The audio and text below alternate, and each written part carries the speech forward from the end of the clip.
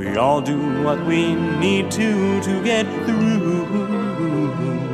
It's nothing new. But I ain't done a fucking thing to you. So God forbid I'm seen just as an average human being. I mean, imagine if antagonists lacked any.